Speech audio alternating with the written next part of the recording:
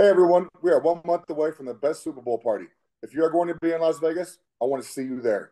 The 14th annual Ditka and Jaws Cigars with the Stars event on Thursday, February 8th from 8 to midnight at the M Resort Spa and Casino. Besides being a great time, we are raising much needed funds for two amazing charities.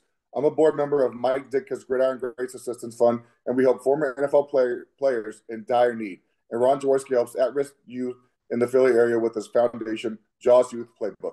There will be cigars, premium open bar, food, football legends, and celebs, silent auction, live music, and so much more. For tickets, go to ditkajawcigars.com. It's going to be a great night, and I hope to see you there.